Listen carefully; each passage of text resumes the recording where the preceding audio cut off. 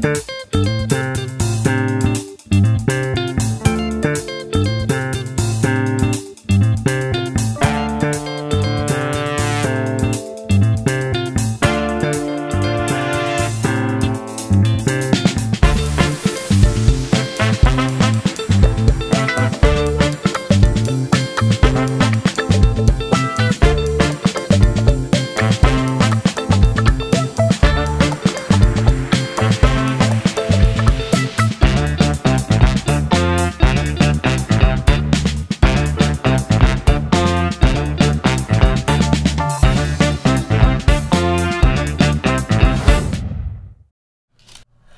welcome to this edition of the Beacon Hill Report. Joining us today in studio is State Representative Paul Schmid of Westport, who also represents part of New Bedford from the 8th Bristol District. Thanks for joining us again. Always a pleasure to be on with you, Jim. Busy time of year as we uh, kick off the new year, and as we sit here in the studio, one of the things obviously that comes up the, uh, next week, big uh, events, if you will.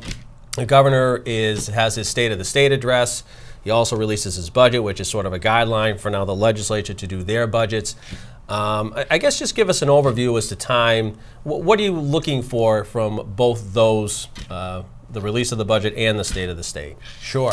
Well, naturally, we're all looking forward to uh, hearing uh, what the budget, what the governor's specifics are uh, regarding uh, how he wants to deal with uh, transportation and with housing. And uh, as we were just talking before the camera started to roll, uh, we are better than halfway through uh, the session now. Mm -hmm. the legislature must cease uh, its activities uh, at the end of July, and that's coming up in just about six months. So a lot of the important issues are going to be dealt with between now and then. And I think you make a list of the important stuff uh, I think you start with transportation. Uh, and I'm sure that uh, second in the governor's priorities will be housing. Uh, so those two issues, transportation and housing, uh, we'll certainly be dealing with. As you look at those two issues, both of those issues affect down here differently than obviously within that 128 belt that we talk about so often. Um, but they are still huge issues down here. Um, well, let me backtrack first the governor comes out, he, he does a state of the state, and obviously this is a heavily Democratic area, state. Um, but there are some, the legislature and the governor do have, uh, for lack of a better word, agreements or uh, issues that they want to get tackled, uh, that they want tackled. Uh, do you find that there's common ground, I guess, between that executive branch and the legislative branch on just the issues that need to be addressed? Well, I do, and I actually uh, think that uh, the legislature uh, has probably a better relationship uh, with Governor Baker than it's had uh, with uh, some previous governors. Uh, he seems to be the kind of person who wants to work with us, and, and the legislature always responds well uh, to governors who want to work with us. so it's not as though, I mean, again, the, the end results are never going to be what everybody wants, but I, I think, you know, from the outside you're looking in, at least if you can get the issues that really need to be addressed, that's half the battle right there. Yeah, and as you said, uh, neither side is going to get everything uh, that it wants, but that's the uh, basis of democracy, isn't it? That uh, you're very happy to take half of what you want and uh, move on to the next. And uh, on the issue of transportation, of course, the major issue on transportation in Massachusetts is the greater Boston area and the difficulties in getting into Boston, as all of us who go up to Beacon Hill uh, three, four, five days a week understand. We talked about that last time, and I think I've uh, in your colleagues when they've come in too, because uh, at that time earlier last year, uh, one of the issues that always seemed to come up uh, that was being talked about uh, and written about in the paper was a gas tax, which doesn't now, which has seemed to have lost some steam, if you will. And I know talking all all the reps, they're not very happy about that because it affects those outside the 128 belt more um, and it pays for the transportation of Boston. Um, but now the idea uh, you're looking at tolls being floated as a, as a, as a sort of a revenue source. Um, and that's relatively new, I guess. What, what are yeah. you hearing up there? Is that something that's more palatable than well, I, I, think we're be definitely beginning to talk about tolls, and folks are saying you know, if you're commuting from Western Massachusetts, you pay to get into Boston on the Mass Pike. Correct. But if you're coming from the north or from the south, you're not paying. So what's the equity there? And that gets people thinking about putting up those uh, uh, uh, the E-ZPass things. E-ZPass yeah. things across. Uh, who knows? Across the uh, uh, Tobin Bridge, putting tolls back on the Tobin Bridge coming in, or tolls on the Southeast Expressway. Is it a question of fairness, though? I mean, when you look at Well, that's the way they express it. Right. Yeah, that, that, it, and it- so that gives them an argument uh, for for tolling. right, That I have a feeling that tolls may be a part of the package. Of course, you know it's a little complicated because the governor is working on this northeastern states uh, uh, pact to uh, put a uh, tax on transportation fuel. And, and although we hear now that uh, some of the other governors that's what the climate are- for the climate change. for climate change. Correct. Yeah. Uh, but some of the other governors are maybe not so sure about going into it. I think trans, uh, New Hampshire, Sununu has s- said he's not going in it. Maine is maybe. So we don't, and, and that would put a, an extra tax on gasoline, diesel fuels, fuels of all type.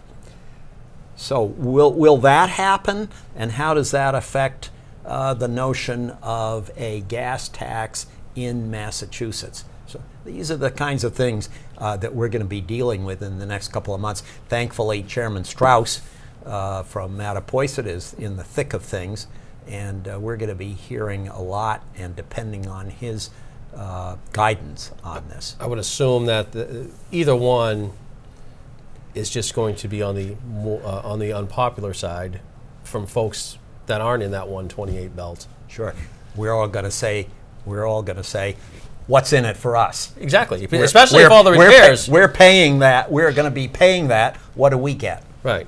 And uh, we're actually uh, the Gateway City Caucus, which is the New Bedfords and Fall Rivers of this world, are going to be meeting with Ways and Means Chair Michlewitz and Chairman Straus uh, this coming week uh, to discuss uh, how transportation affects New Bedford.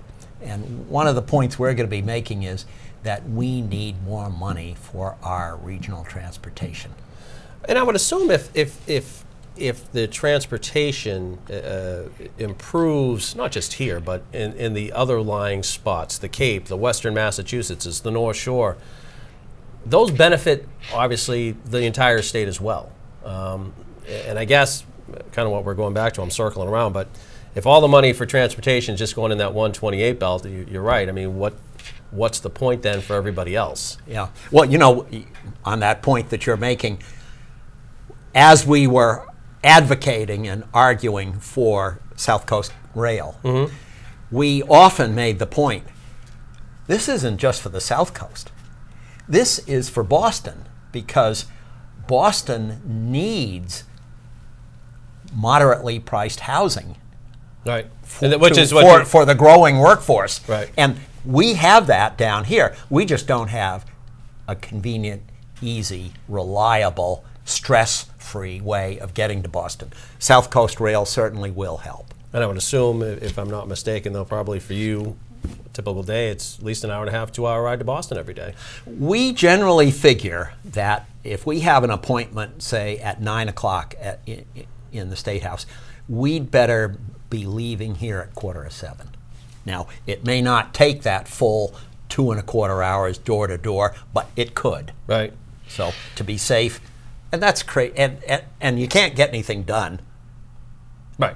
And I would imagine, I mean, obviously, Western Massachusetts is even worse. They're just as they're just as bad and and and worse. So, but in addition to uh, uh, get, getting better transportation to and from Boston, we need better transportation within the South Coast. We need more. We need better schedules, later schedules, weekend schedules for getting back and forth between New Bedford and Fall River, for getting over to Providence. My heavens, Providence is thriving right now, and It's 30 minutes away, 35 it's 30 minutes away. minutes away, Yeah. uh, but uh, we don't have uh, reliable, uh, commuter scheduled uh, bus transportation to Providence. So when you, not you, but when the delegation or the, the region representatives talk about transportation, I mean, that's a great point too. We're not just talking about going to Boston, you're talking about just improving just down here. Yeah. Um, is, is that something that resonates with, I mean, because everybody else is vying for it too, I assume. The Cape's got their own issues down there. Um, It, it's got to be difficult. I mean, you got to prioritize. What are the big things that we need in uh, southeastern Massachusetts, Greater New Bedford, to uh, for transportation wise? Sure. So I think that uh, it's just up to us to make the point that uh, in a transportation package, there has to be increased funding for the so-called RTAs, the Regional Transportation Authorities. End of point. As you talk about the, uh, so you talked about that, and you touched upon housing briefly uh, a moment ago too, Is the one of the things the governor's going to talk about. And you talked about uh, housing in Boston as well. I know most of the housing issues are in Boston because the, the, the pricing is is out of sight. It's cuckoo. It's out of sight. Uh, having uh, children that, uh, knowing children that are living up there, you've got five people in a house, and they're still paying two thousand dollars a month of, uh, for rent. Um, but a housing bill obviously affects everybody, um, but I, I would assume less so this neck of the woods. Well, that's right. The housing issues uh, of affordability really are around Boston.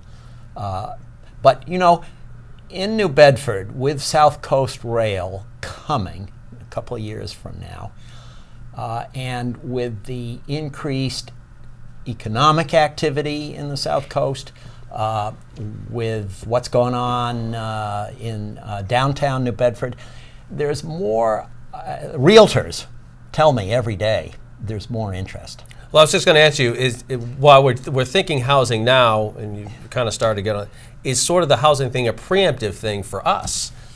Um, which, but you don't know. I guess it's the unknown, but it, it's not that far down the road. Well, it, that's right, Jim, and we've all been working uh, to see uh, economic activity grow here in New Bedford and the South Coast. Now it's starting. It's starting to, but what what will happen? Rents will rise, and we- Housing prices will rise. Housing prices Right. will rise, and we all, all, myself and all my colleagues, we have a lot of constituents uh, living on that $800 a month Social Security check. And as rents go uh, from 500 to 600 to 800 dollars a month, that puts a terrific squeeze on them. So part of this package ought to be thinking ahead to what happens when we go from uh, that $500 a month environment uh, to something that's more uh, compatible to what Boston people are paying in Boston. Right. Yeah. It's, It is. get, yeah, it's more preemptive, but I mean, you do have to think, and it's again, it's not that far down the road. it's funny things always change y- or they seem to change on a dime you, th- you think oh nothing has changed and then all of a sudden it's sort of like the economy you never know when the recession has started until you're in it and Right. you look back and you say oh yeah That's where it turned. We are talking to State Representative Paul Schmid here on the Beacon Hill Report. I'm Jim Marshall here on the New Bedford Cable Network. Uh, talk a little bit. The governor again releases his budget uh, the last uh, next to last week in July. Here, obviously, revenue uh, is an issue. I know that it's still uh, going to be up, but the up isn't as much as it has been the past couple years. Uh, I read something in the in the Globe. I guess you know. Does that signal that a recession? When you were just touching on it, does that mean a recession's around the corner? I don't think anybody knows that yet. But um, you're on the revenue committee. I am. You are the vice chair. You're on the ways and means committee. So this is right up your alley in a sense. Where, as you look at the budget, the governor's budget, which is sort of a template, if you will, of the legislature's budget, but are you thinking, okay, we've got to look at the monies aren't going to be as great as, as, they've been, so we need to take take precaution. Sure. So here's here's what's happening so far as revenues go. Uh, the last two years have been phenomenally good years uh, for Massachusetts. We ended up with huge uh, budget surpluses. And you uh, put the money away too. The rainy day fund. We have the third largest rainy day fund of any state now. Right. Yep. We are a billion dollars over where we had where we were back in 08 before we went into the recession. So I give a lot of credit to people like uh, Senator Rodrigues, Senate Ways and Means chairs, uh, the Speaker, Senate President, uh, for socking away uh, a lot of the budget surplus that we had. Because guess what? We're going to need it. Right. We, we will go into a And recession. what, you know, the funny thing is, people will say, "Well, that's that's great. We, the, why isn't the money coming back, or why aren't we spending the money?" Because when we do hit the recession, you're not going to see the impact as much as you could. That's right. We all remember what happened uh, 10 years ago. So, a couple of great years behind us, looking in the rearview mirror. This current year that we're in, uh, they were forecasting something like a 3% increase in uh, revenues, which is Okay. pretty darn good. Yeah. And for the first six months, we're actually tracking. I think I read we're a hundred, couple of hundred thousand, a hundred million. I have to keep remembering I'm in the state budget now, not in the uh, town budget. Uh, you just add three zeros to everything. We're a couple of hundred million over uh, the benchmark for that three percent increase. But now we're starting to deal uh, with 2021 budget, and uh, we definitely are being cautious. We won't have the same type of increase as we have had. And that article that you just read uh, in the Boston Globe was from an, a uh, taxpayers association that was really looking at things in the most conservative way uh, possible and assuming the worst possible outcomes everywhere. And they were saying, you know, if all the downsides Right. occur next year, we could be back in a deficit situation. Right. And I think that that was good, a good word of caution to us. Well, with being a member of the Ways and Means and the Revenue, probably you probably have to look at things from worst case scenario. We do. Um, we, it's our responsibility. right. So, so the budget for 2021, which the governor will release, and by the way, that's the first word, not the last word. Correct. Uh, the uh, legislature then takes up uh, the issue of the budget and actually allocates the money. But we'd like to see what the governor's uh, priorities are. And as you mentioned earlier, uh, the legislature and the governor are working pretty well together these days. And by the way, most people I speak to are very happy to see in Massachusetts people working together. Nobody wants what's happening down in Washington, uh, where nothing happens. They're just at loggerheads with each other the House, the Senate, the Republicans, and Democrats. No, here in Massachusetts, people work together pretty darn well. And so we're interested in what he has to say about the budget, and then that'll get, get turned over uh, to the House. What do you think that means when, when um, I, I've always said that, and it's funny because it doesn't really get the attention media-wise that no more no one document has more of an impact on a person's life than their town or city budget, the state budget.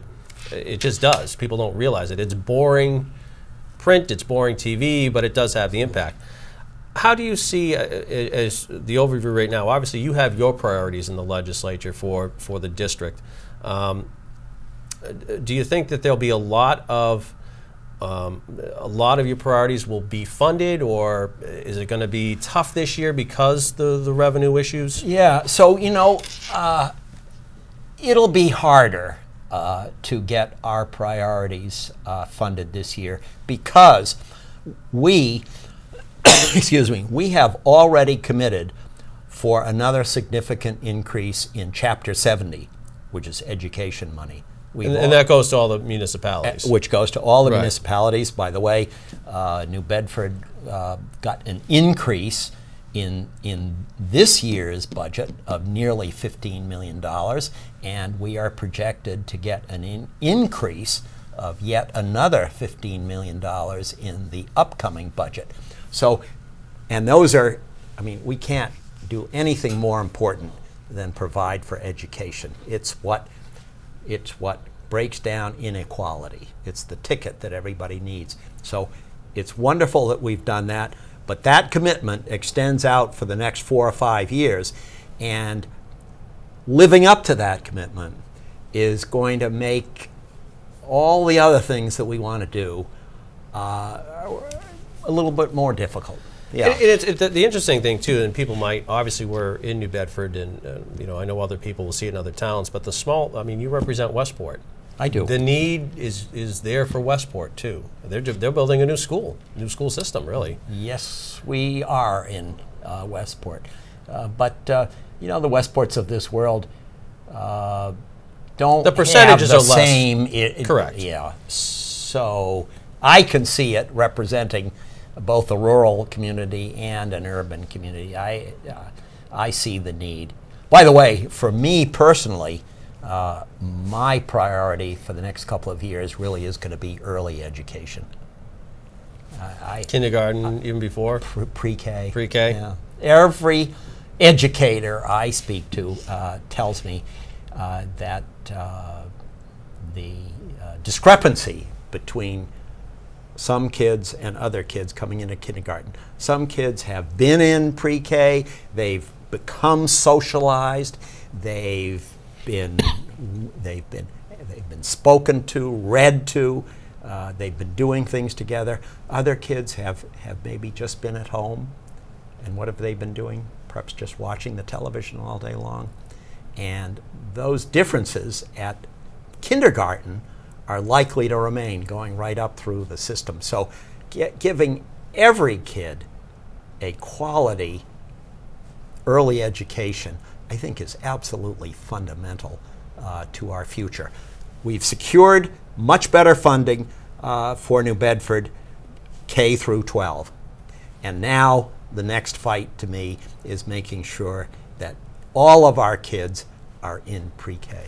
You talked uh, off camera too. Then the, we got a few minutes left, but I want to make sure that you touch upon some of the issues here, New Bedford wise, that you wanted to uh, to update folks on. Sure. Um, so I'll let you have at that as well. Yeah, thanks, Joe. Well, just I'll just start off with something I uh, did yesterday.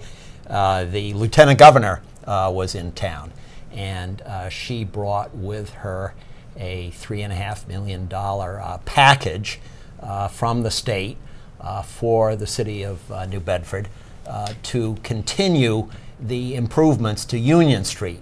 Uh, we've worked on Union Street going right up as far as the New Bedford Harbor Hotel. Yep. And this extra uh, package will allow us to go right up uh, to County Street. Uh, and you can see the revival in street activity. And it's all it started at Route 18. It started Oh, down yeah, and, and yeah. worked its way up. And, and, and this package will give us an opportunity to continue right on up to uh, County Street. And then listening to the mayor uh, describe some of his aspirations, uh, we'll then be able to go north on County Street uh, and also south on County.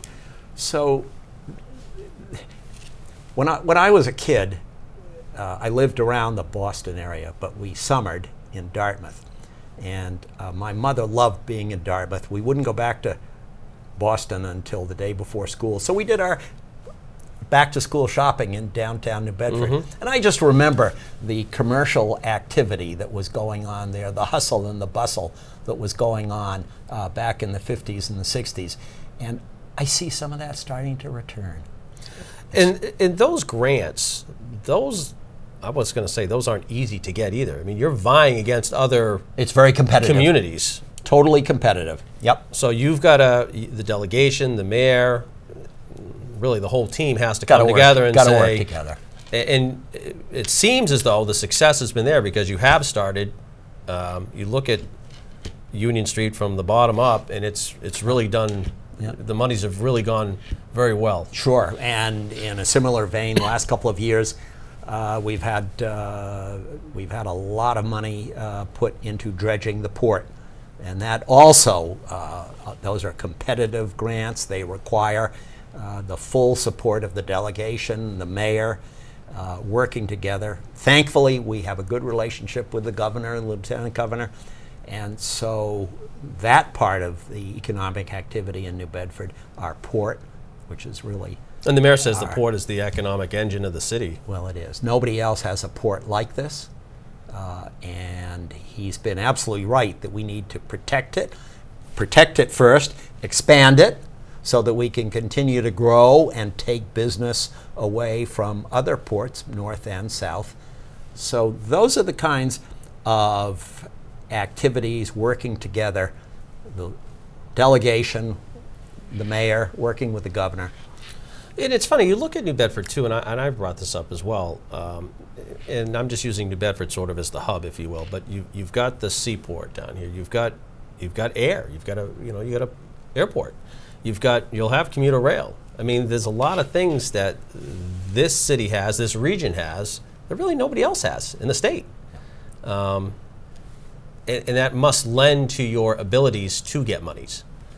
Well, it certainly gives us a very good uh, story to tell. Yep. I was mentioning, so I mentioned that grant that we received for Union Street. Uh, just last weekend, I happened to go to a movie uh, at the Whaling Museum. Uh, and after the movie uh, let out, my wife and I walked up Union Street and we went into the uh, New Bedford Harbor Hotel for a, a light supper and a drink. And the place was booming.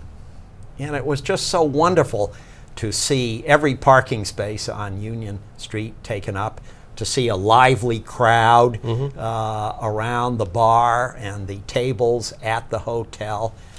And I just thought, yeah, this is good. This is good. We're, this is what young people are looking for this kind uh, of authentic place that's not Disney World. We are what we are. Uh, there's nighttime activity going on, there's cultural activities going on, and I am sure that with connection to Boston, we're going to attract more young people, and they're going to be interested in the quality of our schools, they're going to be committed uh, to our schools, and they're going to be further help uh, to keep improving the quality of our education. You talked about uh, you know education pre-education as well. Um, Union Street, what are some of the other priorities that you are kind of focusing on in the next six months or so during this session, the rest of the session?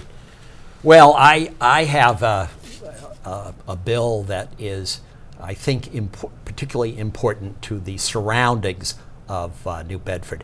Many of the towns along uh, Buzzards Bay and on the Cape do not have sewers. Work, people yeah. work with septic systems. Yep. And those septic systems don't take nitrogen.